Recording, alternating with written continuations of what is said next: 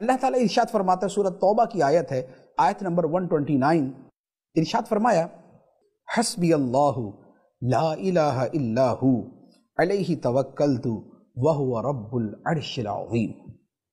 تو تم کہہ دو کہ مجھے اللہ کافی ہے۔ مجھے اللہ کافی ہے۔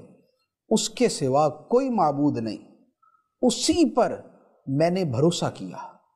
اور وہ عرش عظیم کا مالک ہے۔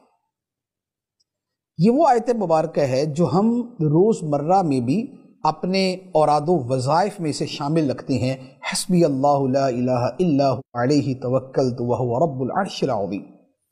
یہ آیت مبارکہ جس کی بڑی فضیلت بیان کی گئی، بلکہ حدیث مبارک میں یہاں تک فرمایا گیا کہ جو یہ آیت مبارکہ صبح و شام سات سات مرتبہ پڑھے اللہ تعالیٰ اس کے تمام کاموں میں اسے کفایت فرمائے گا۔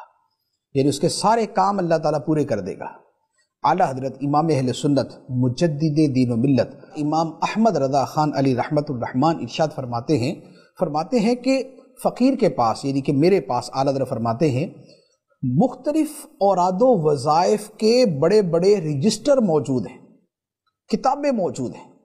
لیکن فرمایا کہ الحمدللہ میرے سارے کام انہی وظیفوں سے ہو جاتے ہیں جو نبی کریم صلی اللہ تعالیٰ علیہ وسلم نے بیان فرمائے اور اس میں بطور خاص اعلیٰ حضرت علیہ رحمٰ نے اپنا یہ وظیفہ بیان فرمایا کہ صبح و شام سات سات مرتبہ یہ پڑھا جائے، حسبی اللہ لا الہ الا ہو، علیہ توکلتو وہو رب العرش العظیم۔ اس وظیفے کو آپ شامل کر لیں، آپ کی زندگی کے کام، سدھرنا، سنورنا اور بننا شروع ہو جائیں گے اور پورے ہونا شروع ہو جائیں گے۔ آپ کے مقاصد پایا تکمیل کو پہنچنا شروع ہو جائیں گے۔